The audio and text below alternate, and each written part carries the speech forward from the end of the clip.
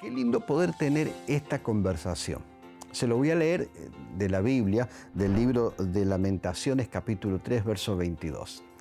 Usted está eh, en la cocina con su esposo, un día de invierno, eh, tomando un tecito caliente, y usted dice con su esposa esto, por la misericordia del Señor no hemos sido consumidos, porque nunca decayeron sus misericordias, Nuevas son cada mañana, grande es tu fidelidad. ¿Qué están haciendo? Allí en la cocina, en la mesita, sentados, tomándose un tecito caliente, están diciendo, oye mi amor, tantas veces que nos equivocamos, tantos errores que hemos hecho y por la misericordia del Señor no hemos sido consumidos. Al contrario, esas misericordias se han renovado día tras día sobre nosotros.